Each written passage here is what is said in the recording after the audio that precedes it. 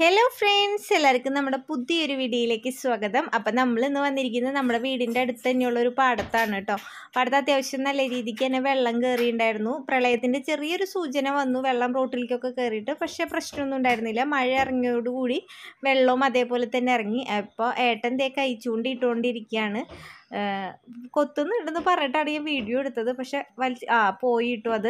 അപ്പോഴേക്കും എന്താ ചേട്ടന്റെ ഫ്രണ്ടിന് അപ്പുറത്തുനിന്ന് ഒരു വരാലിനെ കിട്ടിയിട്ടുണ്ട്. നാടൻ വരാലിനെയാണ് കേട്ടോ കിട്ടിയിരിക്കുന്നത്. നല്ല അത്യാവശ്യം വലിപ്പമുണ്ട്. എന്നാലും അധികം വലിപ്പമില്ലാത്ത ഒരു മീഡിയം സൈസ് വരാലിനെയാണ് കേട്ടോ കിട്ടിയത്. അപ്പോൾ അതേ ഇതാണ് ആ കിട്ടിയ വരാൽ. നമ്മുടെ ബാക്കിൽ നിൽക്കുന്നതാണ് കേട്ടോ വരാലിനെ പിടിച്ച പയ്യന്മാർ അവർ ഇങ്ങനെ എന്റെ അടുത്ത് സംസാരിക്കുന്നുണ്ടായിരുന്നു. അപ്പം ഞാൻ ദേ കാണിക്കാം. അവരാണ് നമുക്ക് ദേ വരാലിനെ പിടിച്ചു തന്നത്. അവനാണ് കേട്ടോ പിടിച്ചത്. ഇനി അവരതിനെ അഴിക്കുകയാണ്.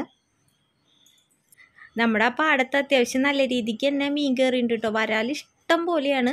അതുപോലെ തന്നെ സിലോപ്പിയും തൂളിയും ഇഷ്ടം പോലെ കയറിയിട്ടുണ്ട് പക്ഷെ സിലോപ്പിയനും തൂളിനെയും ഒന്നും പിടിക്കാൻ പറ്റുന്നില്ല. കാരണം വെള്ളം കയറിയപ്പോഴേ അത്യാവശ്യത്തിന് നല്ലോണം തീറ്റ വെള്ളത്തിലുള്ള കാരണം കൊണ്ട് നമ്മൾ അകലേക്ക് എറിഞ്ഞിട്ടൊന്നും സിലോപ്പിയും തൂളിയും പിടിക്കുന്നില്ല. പക്ഷെ നമുക്കിങ്ങനെ വെള്ളത്തിൽ കിടന്ന് നടക്കുന്നതൊക്കെ കാണാൻ പറ്റുന്നുണ്ട്.